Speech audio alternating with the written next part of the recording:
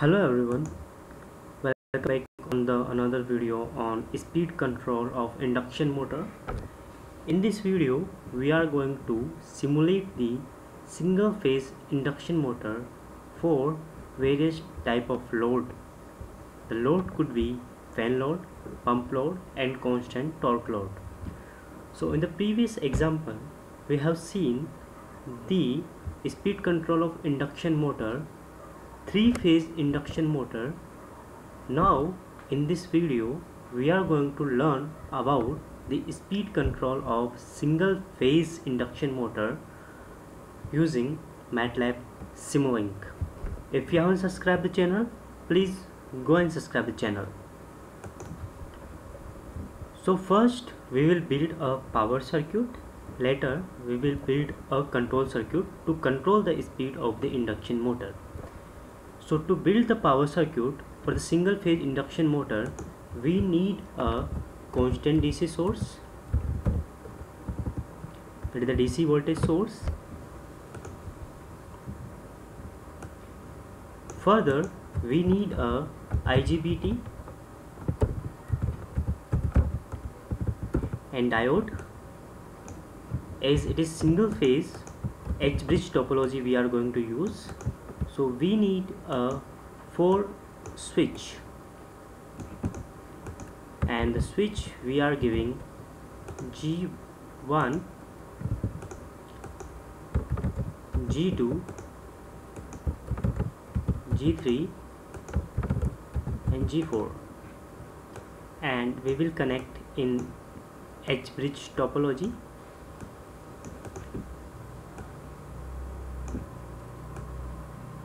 and we will connect a DC source here.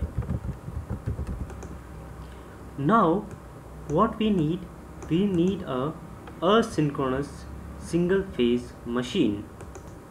So we will type single phase asynchronous machine. Here once when you are clicking on this one you will get a different kind of machines. So here we will use capacitor start capacitor run motor and the parameter the power rating we are using 1 HP induction machine that is 746 watt and line voltage we are considering 230 line to line voltage and 50 hertz frequency. So 230 will be the RMS voltage and we will apply it. Now we will connect one leg of the inverter with a positive and another leg with a negative. Now to control the speed we need to sense the speed of the motor. So we need some kind of encoder. So here we will use the bus selector and the bus selector we will here this port M port and when you are clicking on the bus selector you will seeing this interface and we will remove it. And we need the speed rotary speed. We need the electromagnetic torque to see what is the rotor speed while controlling the speed of the induction motor induction machine and what is the electromagnetic torque. Okay so now we need a gain block gain block is required to convert the speed into the the speed will be in radian per second to convert the speed into the revolution per minute. So the formula is to convert the speed that is radian per second into rpm that is omega equals to 2 pi ns by 60 so by this we will just use pi by 30 sorry 30 by pi to convert the omega that is in radian per second into the ns that will be in rpm revolution revolution per minute. Now we will use a scope and we will connect here and we will see the electromagnetic torque that will be in newton into meter okay so now we to use for different kind of load. You can use it for the constant lock torque you can use for the fan load or pump kind of load. So one of the load characteristics we can see here load torque will be equals to k into omega square where k is the pump constant and p equals to torque into omega. So with this one we can calculate the pump constant and once we calculate the pump constant we can calculate the load torque. So for this machine that is rated at 746 watt ampere kVA rating for this motor we have obtained the pump constant value that is 0 0.0002210 so this is the pump constant value we obtain for this motor. So now we want to obtain this kind of characteristics. So what we need we need a function and in function we will just multiplying k into omega square. So we will just keep this pump constant. What we obtain that we will multiply with u1 square. Okay. So this u is nothing but that is omega in radian per second. And we will connect this to this torque. Okay. So this is the complete completion of the power circuit. And here we need a 325 amplitude for 230 line to line voltage of the induction motor. So DC voltage needed 325 for the single phase. So now what we need we need to prepare or we need to make a control circuit to control the speed of the motor. So now we will build the control circuit as follows. So we need a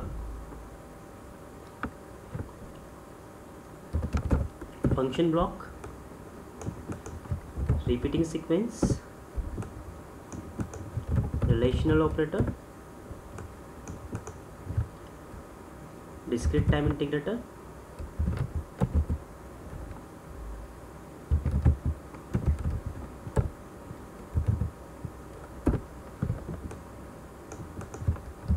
gain addition from go to?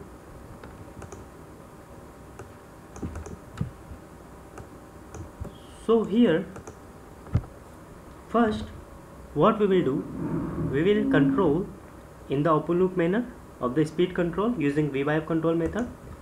So we will give a 50 hertz frequency and the 50 hertz frequency we will use the V/f control so for the V/f control voltage frequency control we need a modulation index as well as theta. To get the modulation index as well as theta from the frequency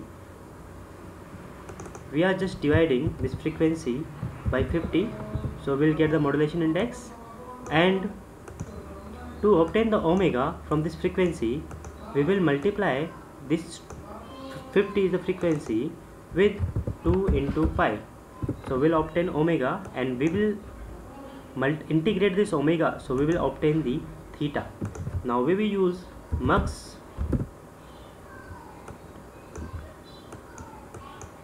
and we want to generate sine theta and sine m into sine theta and m into sine theta minus pi.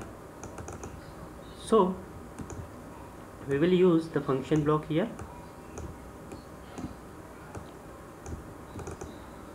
so here that will be the first signal will be ma into sine u2 that is the first signal.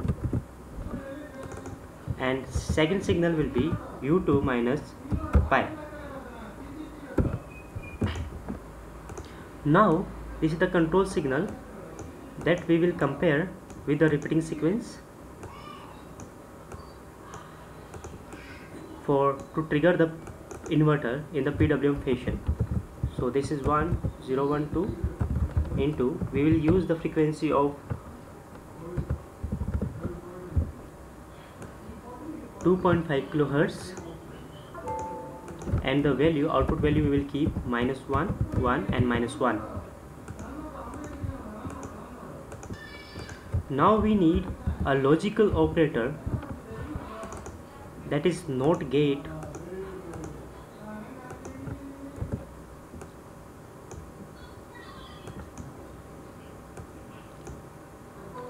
and that we will give the PWM pulses for the inverter.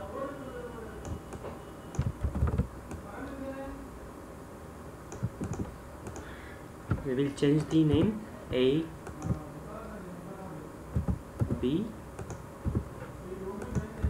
C and D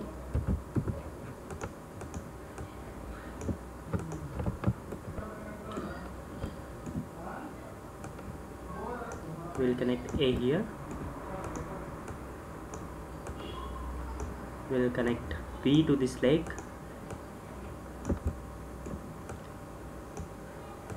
C to this leg and uh, D to this leg so this is our complete control of the single phase induction motor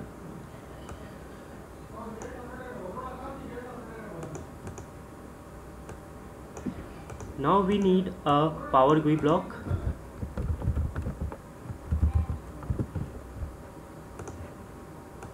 And we will change the simulation type in discrete and sampling time 1 e to power minus 5 and we will run the simulation. Now we will run the simulation. And we will see the speed of the motor as you can see here this is the speed of the motor. Using V/f control it is 1450 now we will change the frequency to 45 and we will see whether any changes happening or not in the simulink so we'll just change and we'll see that is a changes happens simulation. Further we'll change the frequency to 35 and we will see whether speed changed or not. As you can see here when we are changing the frequency we are able to changing the speed of the induction motor. So this is the way we can do the open loop V/f control of single phase induction motor and we can control the speed of single phase induction motor. If you have any queries regarding this you can comment me on the comment section and please like share and subscribe my channel. Thank you. Thank you very much